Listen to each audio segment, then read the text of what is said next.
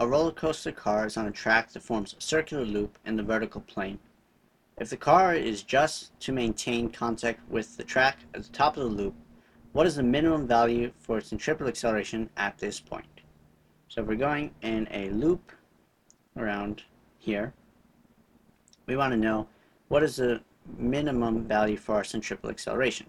So here's the center of our circle. So when the cart is at the top of the track, we're just maintaining the circular motion. So there is no normal force acting on our object. So we have the weight pulling down, and we have the accelerate our centripetal acceleration, the net acceleration, pointing downward. With that being said, the normal force is equal to zero. So if we apply Newton's second law, have the net force is equal to ma centripetal. But F is the sum of all forces, and if we consider down to be the positive direction, we would have Fn plus mg is equal to ma centripetal. But as we stated, we're just maintaining contact. So our normal force is equal to 0. So we can ignore that term, which leaves us with mg is equal to ma centripetal. Now if we divide both sides by m, this will show us that our centripetal acceleration has to be equal to the acceleration due to gravity. So our answer is A, G downward.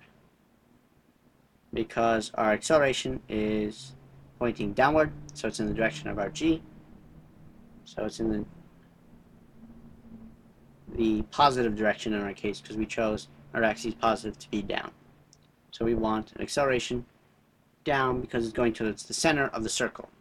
An answer choice of say C would not make any sense when we're at the top here because having a centripetal acceleration pointing away from the center has nothing to do with an actual centripetal acceleration. So this answer doesn't make any sense, just like answer choice D doesn't make any sense. So from the beginning, you could have narrowed it down to A or B because you understand that the centripetal acceleration must be pointing downward. But after we do the algebra here, we see that our answer is A. The centripetal acceleration is G directed downward.